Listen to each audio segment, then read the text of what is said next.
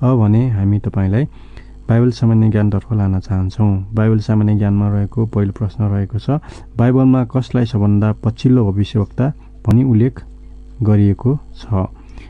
मलाई चारको पाँच पदमा हामी पाउँदछौँ एलियालाई उल्लेख गरिएको छ। अर्को प्रश्न रहेको छ जकरियाको पुस्तक अनुसार चार रथहरू के का प्रतीकहरू हुन्? स्वर्गदूतका आत्माहरूका जकरिया छको पाँच पदमा यो कुरा उल्लेख गरिएको छ। तेस्रो प्रश्न रहेको छ कनान देश वास्तवमा कुन जातिको देश हो? कनान देश वास्तवमा पलिस्तीहरूको देश हो। यस कुरालाई चाहिँ हामीले सपन्या अध्याय दुईको पाँच पदमा पाउँदछौँ। दानियलको पुस्तकमा कति अध्यायहरू छन्? दानियलको पुस्तकमा जम्मा बाह्र अध्यायहरू रहेका छन्। उहाँमाथि भरोसा राख्नेलाई परमेश्वरले के भन्नुहुन्छ? परमप्रभु परमेश्वरले धन्य हो त्यो मानिस भन्नुभएको छ। धन्य होस् त्यो मानिस भन्नुभएको छ। यस कुरालाई हामीले एर्मिया सत्रको सात पदमा पढ्न पाउँदछौँ।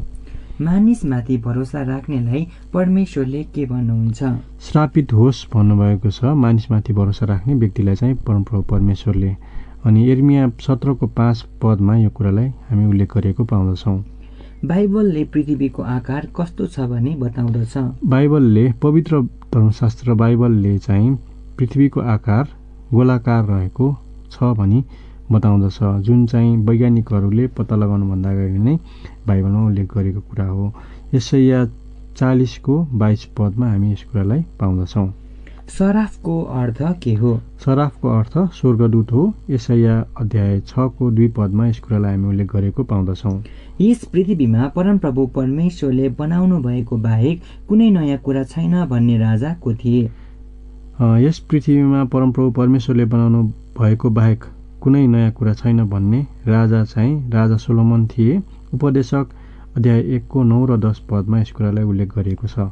पवित्र बाइबलको सबैभन्दा लामो अध्याय भजन सङ्ग्रह एक सय उन्नाइसमा कति पदहरू छन्? भजन सङ्ग्रह एक सय उन्नाइसमा जम्मा एक सय छयत्तरवटा पदहरू रहेका छन्। येसुका बाह्रजना चेलाहरूका नाम के के हुन्? यसुका बाह्र चेलाहरूका नाम चाहिँ पत्रुस योन्ना याकुब अन्द्रियास फिलिप थोमा बार्थोलमाई अल्फायासको छोरा याकुब सिमोन कनानी थेदियस युदा इस्करियोत र मत्ती रहेको छ बाह्रजना चेलाको नाम। अनि यस कुरालाई चाहिँ हामीले यी चेलाहरूको नामलाई चाहिँ उल्लेख गरेको हामीले मत्ती दस अध्यायको एकदेखि पाँच अनि मर्कुस अध्याय तिनको पन्ध्रदेखि उन्नाइसमा उल्लेख गरेको पाउँदछौँ। बाइबलमा रहेको मत्तीको पुस्तक अनुसार येसु ख्रिस्ट कति बजेतिर समुद्रमाथि हिँडेर चेलाहरू कहाँ आउनुभएको थियो? उहाँ चाहिँ बिहान तिन बजेतिर आउनुभएको थियो। यसलाई हामी मत्ती चौध अध्यायको पच्चिस पद र यहुन्ना छ अध्यायको तेह्र पदमा पाउँदछौँ। सामान्य ज्ञानमा पहिलो प्रश्न रहेको छ पृथ्वीमा हाल भइरहेका कमिलाहरू सबैलाई जोख्ने हो भने कति केजी छन्? दस हजार खर्ब टन छन्। दोस्रो प्रश्न हामीले नुन कति खानुपर्छ? हामीले नुन दैनिक रूपमा चाहिँ बढीमा पाँच ग्राम खानुपर्छ। गाईको दुधमा कति प्रतिशत पानी हुन्छ? गाईको दुधमा करिब अस्सी प्रतिशत पानी हुन्छ। साधारणतया एक व्यक्तिलाई प्रतिदिन कति केजी अक्सिजन आवश्यक पर्दछ? साधारणतया एक व्यक्तिलाई चाहिँ सोह्र किलोग्राम अर्थात् सोह्र केजी अक्सिजन आवश्यक पर्दछ। संसारको सबैभन्दा पातलो वस्तु केलाई भनिन्छ? संसारको सबैभन्दा पातलो वस्तु चाहिँ साबुनको फिज अर्थात् साबुनको फोकालाई मानिन्छ। कुन रङको कपडाले चाँडै ताप खोज्न सक्छ? कालो रङको कपडाले चाहिँ चाँडो ताप सोच्न सक्छ। एक वर्षमा कति हप्ता हुन्छ? एक वर्षमा बाहन्न हप्ता हुन्छ। संसारको सबैभन्दा ठुलो प्राणी ब्लू व्हेल पछि दोस्रो ठुलो प्राणी कुन हो? संसारको सबैभन्दा ठुलो प्राणी ब्लू व्हेल पछि चाहिँ अर्को दोस्रो ठुलो प्राणी चाहिँ फिन व्हेल हो। ब्राजिलमा कुन भाषा बोलिन्छ? पोर्टुगिज भाषा बोलिन्छ ब्राजिलमा। मध्यपूर्वको कुन सहरलाई कुनै बेला फिनल्यान्ड फिलाडेल्फिया भनिन्थ्यो?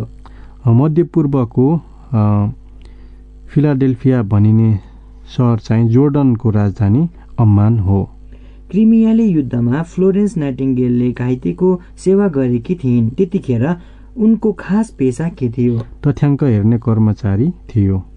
बङ्गलादेशको सबभन्दा नजिक रहेको नेपाली जिल्ला कुन हो? झापा जिल्ला हो। इस्वी सम्बत उन्नाइस सय पचहत्तरमा पावल एलेन र बिल गेट्सको स्थाप स्थापन गरेको संस्था कुन हो? पावल एलेन र बिल गेट्सले स्थापना गरेको संस्था चाहिँ माइक्रोसफ्ट हो। अमेरिकामा अन्तरिक्ष यात्रीलाई एस्ट्रोनट भनिन्छ भने रुसमा के भनिन्छ? अमेरिकामा अन्तरिक्ष यात्रीलाई एस्ट्रोनट भनिन्छ भने रुसमा चाहिँ रसियामा चाहिँ कस्मोनट भनिन्छ। इजरायल देशको मुद्रा के हो? इजरायल देशको मुद्रा चाहिँ न्यु सेकेल हो। वर्षेनी राष्ट्रपति परिवर्तन गर्ने मुलुक कुन हो? वर्षेनी राष्ट्रपति परिवर्तन गर्ने देश वा मुलुक चाहिँ स्विजरल्यान्ड हो। कम्प्युटरलाई नेपालीमा के भनिन्छ? सुसाङ्ख्य भनिन्छ कम्प्युटरलाई नेपालीमा।